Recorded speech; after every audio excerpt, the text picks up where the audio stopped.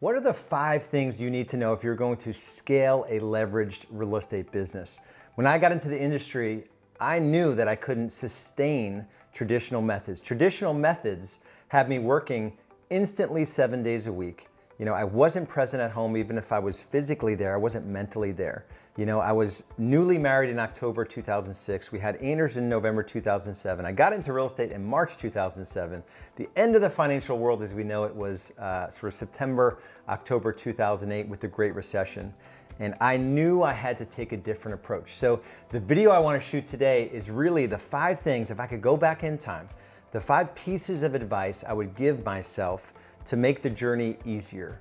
You know, it took me about six years to go from, you know, my first full year in the business was 2008. So I got my first 10 months of 2007 under me. The financial crisis hit in 2008 and we sold 44 homes. I say we, it was me and a part-time assistant.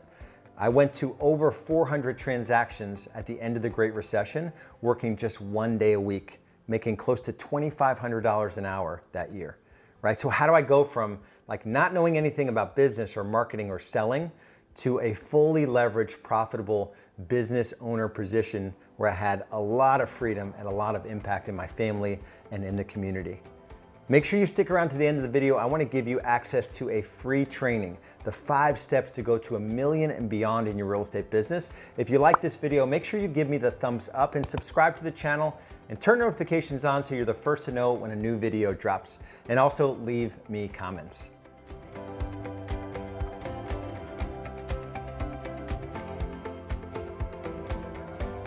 So my journey in real estate, and I know you hear me talk about it a lot, but today I want to talk about it in a way where I could go back and give the, the junior Lars, the just getting into the business Lars, some advice on the things I might do differently or the things that I was doing that were good, but maybe I was just sort of not really secure in what I was doing.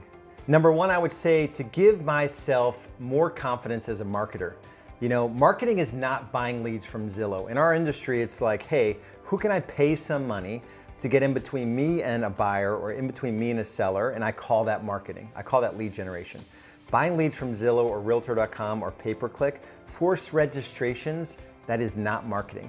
So I would give myself confidence to go down the path of, you know, this StoryBrand path of doing a great job for your clients, showing them the path to success, being, you know, the guide for them being the hero. In our industry, it is all me marketing. Like, look how awesome I am. Look at a picture of me and my dog. Look at, you know, this thing or that thing. And that brand or image advertising does not lead to success. And so I would give myself more confidence as a marketer, but a marketer of the stories of our clients. Number two, I would say to hire people based on patterns and not potential. I was actually in church listening to a sermon where uh, my pastor talked about uh, relationship advice. And he was saying, he was talking to, to the ladies out there, and he said, Ladies, stop looking for potential in these men. Look for their patterns, right? This guy has debt, he's addicted to porn, he kicks his dog, he doesn't take care of his physical body, he watches eight football games a week his patterns are very clear.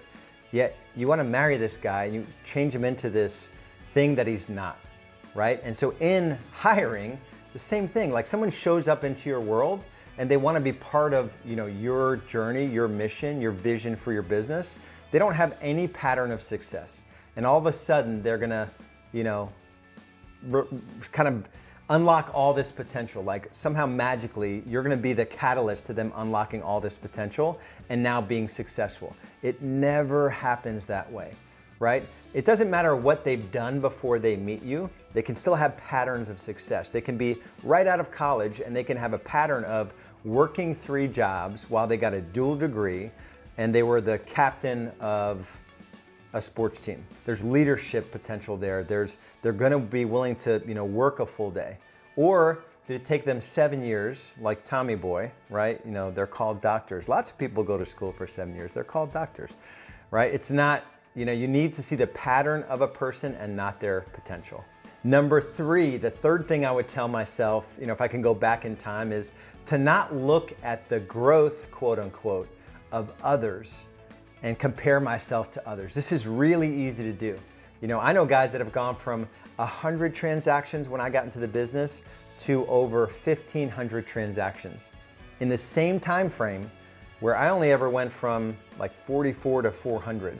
But when I dig into those businesses, because now I get the vantage point of having looked at the financials of those businesses, I find out that they're spending $150,000 a month on mass media.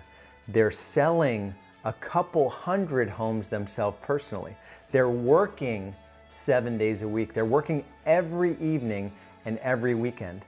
Their relationships, if they're not divorced, they're strained or they're single right? Their physical bodies, they're not tending to their physical bodies. They're not, you know, taking care of their emotional well-being or their faith walk, right? So how do you measure success? Be clear on how you measure success and don't compare yourself to others. So once I got into real estate B school and I started, you know, evaluating these businesses because now we're in the business of helping people, uh, you know, sell more homes in less time and make more money, have more impact and more freedom. You know, that's kind of the the thing we do. Now I'm really able to to check myself on those things. And some of these businesses, you couldn't pay me enough money to sell 200 homes myself, to manage, you know, 30 agents or 40 agents selling another 1,000 homes, to have in mass media alone $150,000 a month of spend, right? And just and not even a seven figure profit to show for it. A seven million top line business with no profit to show for it, and a whole bunch of personal production on your own, right? You couldn't pay me a million dollars to take that business, I wouldn't do it. So stop comparing yourself to others. And this is me telling myself that, but also me telling you that, to stop comparing yourself to others. The fourth thing I would go back and tell myself is to chase even less squirrels than I did over time. And so a squirrel is something that comes into your business that wasn't planned. It's usually a piece of technology or uh, a lead gen platform or you know someone who's going to call you know sellers on your behalf and book a ton of appointments. I'll give you one specific example. It's a, a guy that called me up. Our, our plan was set for the year. We were doing great. Somebody calls me up and says, hey, listen, give me $12,000 up front. Actually, it's 25, but for you, I'll discount it to $12,000. And then I'm gonna take a, a, monthly fee, and also I'm, I'm gonna take a referral fee on closings. And I'm just gonna call expired and FSBOs for you. And I'm gonna be able to set 30 appointments a month. I'm like, this is awesome.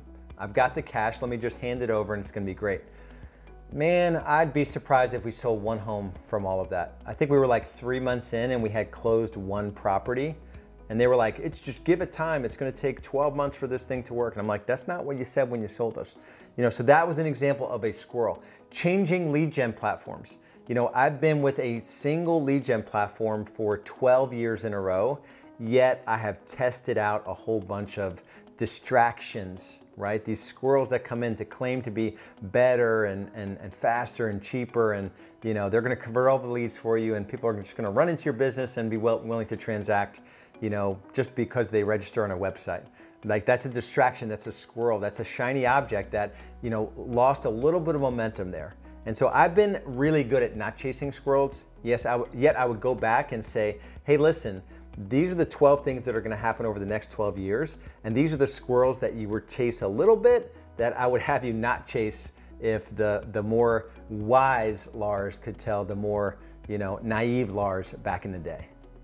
The fifth thing I would tell myself is to learn how to lead better, you know, before you're put in a situation where you could hurt your team members.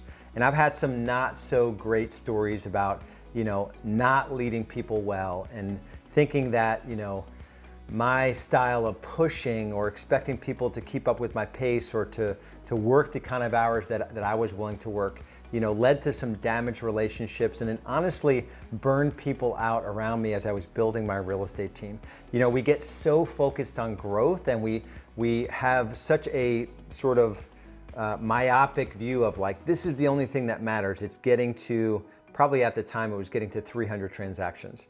And so when we went from, you know, 58 to 118 to 178 to 248 to 312, that four year journey, you know, I was just so focused to getting to 300 transactions that I was I was honestly not loving people. I was more churning the business. I was more focused on the outcome of the business than loving and leading my people well. And those were some tough lessons and some tough conversations with folks I had you know, really had some deep relationships with that had to say, hey, listen, you know, when did the money become more important than, than me or the team? And that, I mean, that hurts in your soul to hear that. So for the last, probably, that was probably my first five or six years in the business. And since then, I've just been learning how to love better, to, to lead better, you know, to really serve my, my, my team members. You know, there shouldn't be a thing called servant leadership. It's really the only type of leadership. And so I'd go back and just, without shaming this, you know, sort of learning fast, you know, Lars back then and, and failing and being willing to fail fast and pick myself up, without discouraging that part of it, I would just say, you know, love your people. Don't, don't get frustrated with them. Don't, you know, worry about the process, not the person. That's one of our, our company tenants now for Real Estate B School. And we really lean into it. Like if something isn't working in the business, it's not because we don't have awesome team members, right? It's because there's a broken process. And I wish I would have known that back in the day. So that's probably what I would say. You know, if the business is not doing well, there's a process issue and not a person issue. There may be a person issue, but you've got to make sure the process is sound before you attack the person. And I didn't do a really good job in that. So those are my five things that I would go back and tell my earlier self. It's uh, this, the one thing that I did well consistently that I wouldn't change is that I knew I was going to build a business that had leverage. I knew I was going to build a business that served our clients without me having to do everything along the way. And it's this mindset of business ownership. If you wanna go from where you are right now to building a million dollar plus real estate team where you're not grinding out transactions, you have flexibility in your schedule, go to realestatebusinessfreedom.com. It's our five step training where I detail everything you need to do to build leverage in your business, to look at your marketing differently, your people differently, your time differently, everything about your business differently so you can scale to seven figures and beyond without losing your life in any economic climate. So go to realestatebusinessfreedom.com. If you like the video, give me the thumbs up. Make sure you subscribe to the channel, leave us comments, and make sure you turn notifications on. We'll see you in the next video.